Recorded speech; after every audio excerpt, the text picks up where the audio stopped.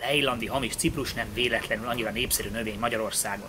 Egyrésztről kiváló sövényt lehet belőle nevelni, nagyon gyorsan nő, ha jól érzi magát, akár egy-másfél métert is tud gyarapodni egy évben. Eléggé igénytelen, nincs baja a rossz minőségű talajjal, jól bírja a szárazságot, legalábbis amikor már begyökeresedett, és viszonylag ellenálló a betegségekkel szemben is.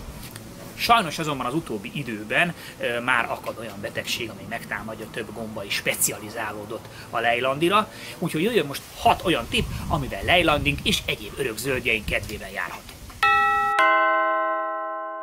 Az első és legfontosabb lépés a tápanyag utánpótlás, aminek éppen ilyenkor ősszel van itt az ideje. Azért nagyon fontos ez, mert ezzel tudjuk igazán ellenállóvá tenni a növényeinket a téli fagyjal szemben. Ráadásul az örökzöldekben a lombozat cseréje a növény belsejében zajlik, méghozzá ilyenkor télen. Ehhez pedig óriási tápanyag tartalékokra van szükségük, ha ez nincsen meg, akkor le fog gyengülni a növény, érzékenyebb lesz a fagyokkal szemben, és a betegségekkel szemben is. Én ebben az esetben is szerves tápanyagot szeretek használni, méghozzá a Viano kifejezetten örökzöldhez készült tápanyag keverékét, mert ebben van nitrogén, magnézium és kálium. A nitrogén és a kálium szükséges ahhoz, hogy a fiatal hajtások megerősödjenek és ellenállóvá váljanak a fagyokkal szemben. A nagy magnézium tartalom pedig azért kell, hogy szép, zöld, mézöld legyen az örökzöldünk színe.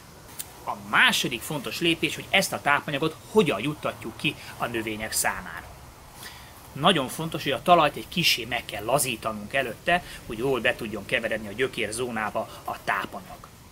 Szintén nagyon fontos, ami ilyenkor ősszel furcsán hathat, hogy a tápozás után alaposan be kell öntöznünk. Az örökzöldeket egyébként nem csak ősszel és nyáron kell öntözni, hanem akár télen is. Tehát a télen olyan időszak van, amikor melegebb a hőmérséklet, viszont nincs csapadék, bizony ilyenkor is meg kell öntözni az örökzöld sövényünket, vagy bármilyen örökzöld növényünket.